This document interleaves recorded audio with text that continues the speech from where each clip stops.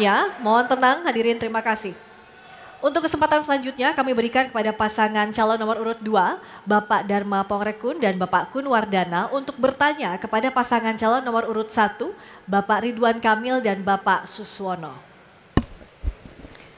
Dan pasangan calon nomor urut 2 bertanya Kang kepada Emil, pasangan calon nomor urut Maaf, 1. saya Bapak mohon izin sebentar. saya mau bertanya. Bapak mohon izin belum dipersilakan. Oh, belum. pasangan calon nomor urut 2 bertanya kepada pasangan calon Ya. nomor urut 1. Waktu Anda satu menit dimulai sejak berbicara. Silakan.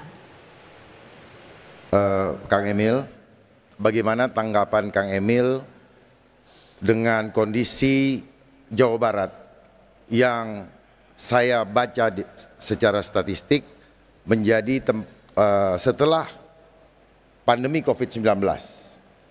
Jawa Barat menjadi daerah salah satu yang dianggap miskin. Itu yang saya baca di koran. Bagaimana tanggapan Bapak dan kenapa itu sampai terjadi di mana masyarakatnya pun sedang mengalami krisis ekonomi, bahkan terjadi kesenjangan sosial seperti yang sedang kita alami saat ini di Jakarta. Sekali lagi mohon eh, kami dijelaskan supaya kami bisa memahami sehingga ketika kami bisa menjadi gubernur seperti Bapak, kami dapat mengantisipasi hal tersebut. Terima kasih. Baik, cukup.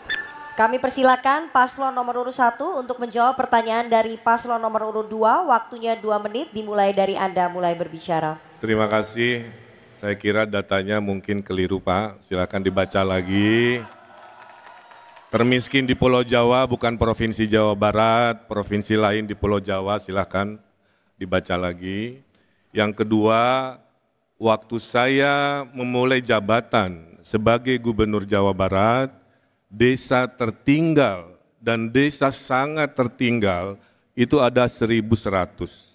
Lima tahun kami bekerja dengan pemerataan ekonomi, dengan ekonomi digital desa, dengan program-program pemberdayaan eh, pesantren-pesantren di desa. Hasilnya Pak Dharma, dari 1100 desa tertinggal sangat tertinggal, di akhir jabatan kami jumlahnya menjadi nol.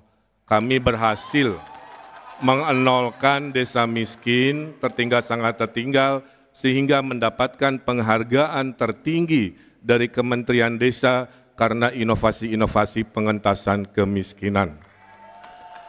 Yang kedua, kami merasa bahwa Jawa Barat memang berbeda dengan Jakarta.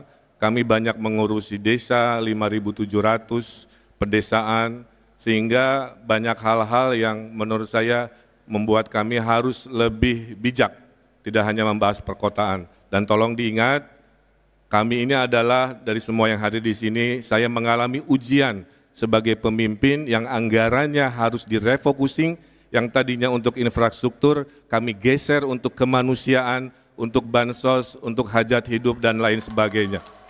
Dan selama kekurangan dana seperti itu, kami mendapatkan penghargaan dari UNDP sebagai provinsi terbaik penanganan COVID di Asia Pasifik. Terima kasih. Baik, cukup.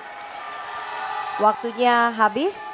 Sekarang kami persilakan kepada paslon nomor urut 2 untuk memberikan tanggapan dari jawaban paslon nomor urut 1. Waktu Anda satu menit dimulai dari Anda mulai berbicara.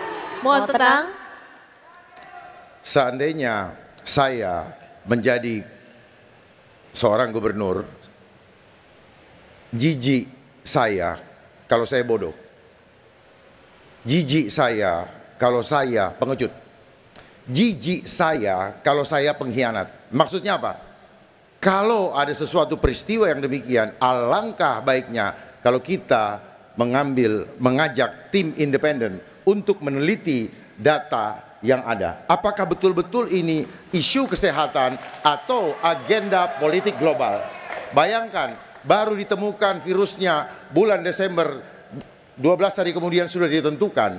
Lalu tidak melakukan prosedur golden eh, postulat Koch yang seharusnya dilakukan. Lalu alat diagnosanya sangat sumir dan tidak diperuntukkan untuk itu.